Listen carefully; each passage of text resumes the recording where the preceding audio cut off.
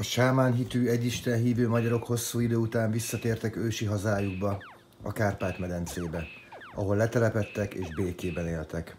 Káposztát termesztettek, méheket és háziátokat tartottak.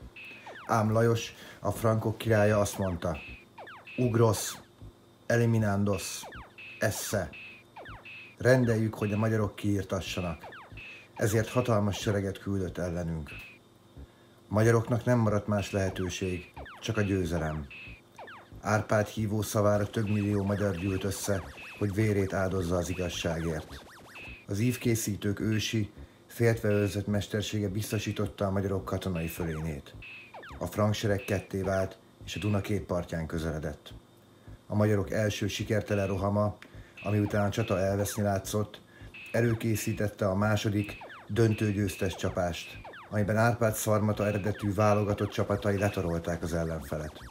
Árpád a harc során hősi halált halt. De most nem volt idő a gyászra. A magyarok átkeltek a Duna túlpartjára, és diadalmaskodtak a frankok másik fele ellen is. Utána legyőztek még egy harmadik, bajor csapatot is. A frankok, amilyen gyorsan jöttek, úgy el is tűntek. A magyarok ezzel megkötötték a vérszerződést a Kárpát-medencével. Így lehettek később Európa igazi urai.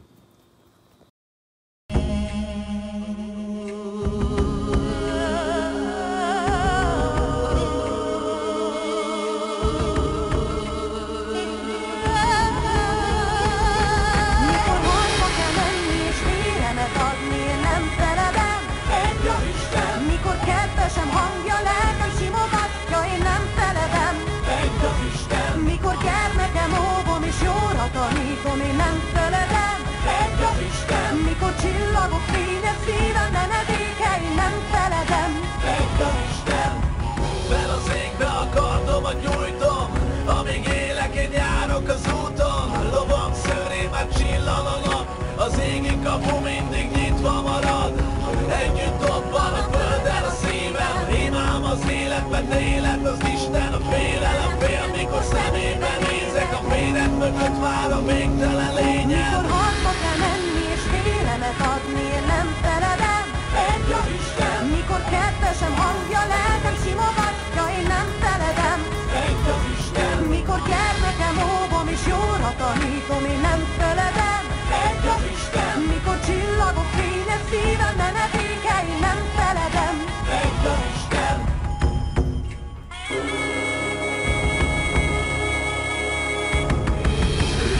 Sorsai sorsok a mosban, aranyló szikra a dobokban lobban. Etesd a szíved a tett erejével, bukása várja ki soha nem tért el. A szándéka fontos, a többi csak köd, ére a nap az egyetlen örök